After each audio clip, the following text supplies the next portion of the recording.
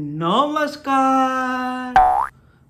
खड्की दाई म को अरे तपाईँको। ल मेरो भाइ हो। होइन?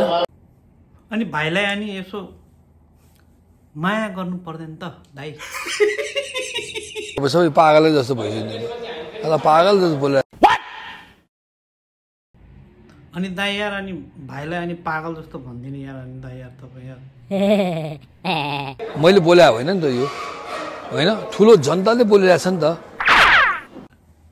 ए दाई हो र? जनताले पो भनेको? ए ल ठिकै छ नि त उसो भए। त्यस्तो चिजलाई लिएर कन्ट्रोभर्सी गर्ने मिल्दैन भनेर भने है। सरी दाई मैले कन्ट्रोभर्सी गरेको छैन मैले केही पनि भनेको छैन कसैलाई। चुप्प लाएर बसिरहेको छु को बाँकी छ भने